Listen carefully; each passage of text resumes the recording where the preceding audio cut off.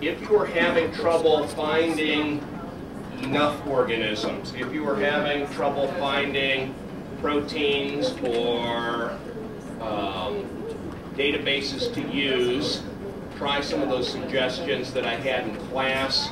Are you finding anything? Yes, I am. What are you finding? Just uh, uh, found some uh, species that uh, I'm going to work with. Uh, Good. Do you feel like a real biologist? yeah, It took a long time, to, like trying to gather up all of these um, hits or whatever, and uh, we put it in import, and it runs, and then we had to come up with this list. It looks really confusing. I hope we can figure it out. I think we should be okay though. Pick, pick a database. Okay, because what'll happen is the more databases you're using with that general description, you're gonna pull up tons and tons of hits. You're gonna pull up tons and tons of pro- different kinds of proteins. The idea will be, you got how many? Seven thousand's a little bit much to kind of look through, right? So if you look at just one of the databases instead of all those, First, we searched for myoglobin because we figured interesting thing to search for, and we came up with a bunch of different organisms, and we decided to keep the ones that are related to like whales, porpoises, and other sea animals. And so we put them in our little. What is it? we saved them, just so. We imported them. Imported them. We imported them to our um, file. And then we decided to narrow that down to like 15, get rid of some of the really far off ones. So we mostly have like porpoises, whales, and a few different ones. We have an otter We have a dolphin. and two seals. So we just kind of want to see how they're related. And then We pick them, we select them on here, and then we make a, a tree with it to see how closely they're related.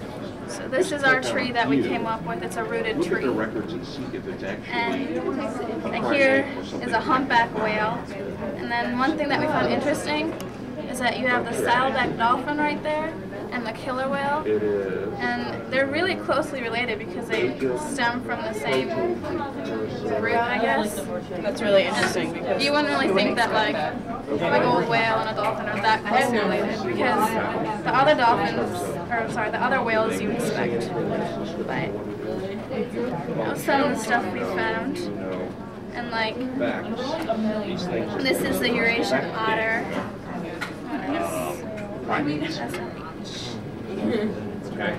And then Don't want these prions. this is a gray seal and a harbor seal. So like the otters and seals, they're kind of close related, but you'd expect that from the way they look. so basically what we're just seeing is to see how everything's related and like the difference in evolution.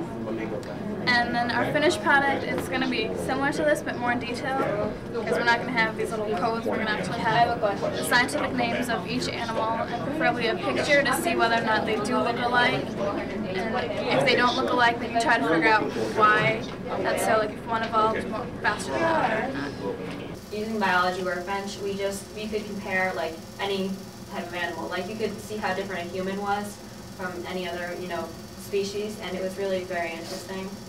It's a lot different than like most biology classes because you actually like, actually get to like interact.